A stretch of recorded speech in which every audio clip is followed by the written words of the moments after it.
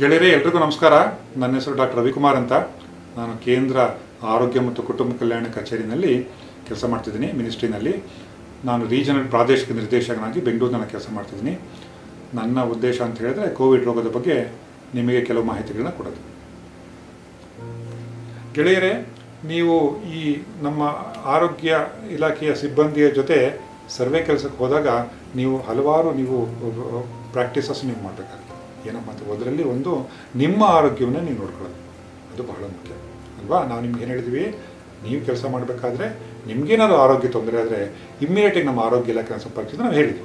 ಜ್ವರ ಇರ್ಬೋದು, ಕೆಮ್ಮಿರ್ಬೋದು, ಮೈಕೆ ನೋವಾಗಿರ್ಬೋದು, ತಲೆನೋವಾಗಿರ್ಬೋದು, ಲೂಸ್ ಮೋಷನ್ಸ್ ಆಗಿರ್ಬೋದು ವಾಮಿಟಿಂಗ್ ಆಗಿರ್ಬೋದು, ಏನೇ ಸಿಮ್ಟಮ್ಸ್ ನಿಮಗೆ ಶುರುವಾದರೆ ಇಮ್ಮಿಡಿಯೇಟಾಗಿ ನೀವು ನಮ್ಮ ಆರೋಗ್ಯ ಇಲಾಖೆ ನೀವು ಸಂಪರ್ಕಿಸಬೇಕು.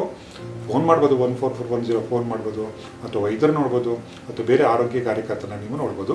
ಇದು ಬಹಳ ಮುಖ್ಯ. ಅವರು ನಿಮಗೆ ನೆಕ್ಸ್ಟ್ ಏನು ಮಾಡಬೇಕು ಅಂತ ಹೇಳ್ತಾರೆ.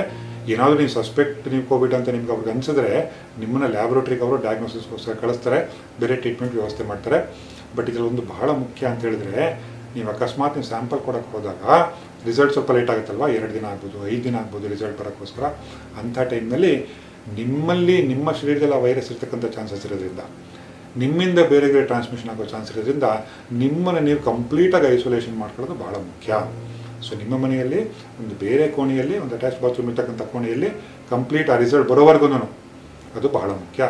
ಇದರಿಂದ ನೀವು ನಿಮ್ಮ ಫ್ಯಾಮಿಲಿ ಮೆಂಬರ್ಸ್ ನಿಮ್ಮ ಕುಟುಂಬದ ಬೇರೆ ಸದಸ್ಯರಿಗೆ, ನಿಮ್ಮ ಜೊತೆ ಮಾಡಿ ಜೊತೆಯಲ್ಲಿ ಕೆಲಸ ಮಾಡ್ತಕ್ಕಂಥವ್ರಿಗೆ, ನಿಮ್ಮ ಮಿತ್ರರಿಗೆ ಮಿತ್ರರಿಗೆ ರೋಗ ಹರಡೋದನ್ನು ನಾವು ತಪ್ಪಿಸ್ಬೋದು. ಇದು ಬಹಳ ಮುಖ್ಯ. ರಿಸಲ್ಟ್ ಬಂದ ಮೇಲೆ ಅದು ಪಾಸಿಟಿವ್ ನೆಗೆಟಿವ್ ನೋಡ್ಕೊಂಡು ಅದು ಬೇರೆ ಮಾಡೋದು ಬೇರೆ ವಿಧಾನ ನಾವು ಫಾಲೋ ಮಾಡೋದು ಬೇರೆ ವಿಚಾರ. ಆಸ್ಪತ್ರೆಗೆ ಹೋಗ್ತಿರೋ ಅದು ಬೇರೆ ವಿಚಾರ. ಏನು ಟ್ರೀಟ್ಮೆಂಟ್ ಸಿಗುತ್ತೋ ಅದು ಬೇರೆ ವಿಚಾರ. ಬಟ್ ಸದ್ಯಕ್ಕೆ ರಿಸಲ್ಟ್ ಬರೋವರೆಗೂ ಈ ಸಾಧ್ಯತೆ ಇರೋದ್ರಿಂದ, ರೋಗದ ಸಾಧ್ಯತೆ ಇರೋದ್ರಿಂದ ನೀವು ಕಂಪ್ಲೀಟಾಗಿ ಮನೆಯಲ್ಲೇ, ಯಾವ ಬೇರೆ ಕಡೆ ಎಲ್ಲೂ ಹೋಗ್ದಲೆ, ನೀವು ಐಸೋಲೇಷನ್ ಮಾಡ್ಕೊಳ್ಳೋದು complete full proof self isolation ಮಾಡ್ಕೊಳ್ಳೋದು ಭಾಳ ಮುಖ್ಯ.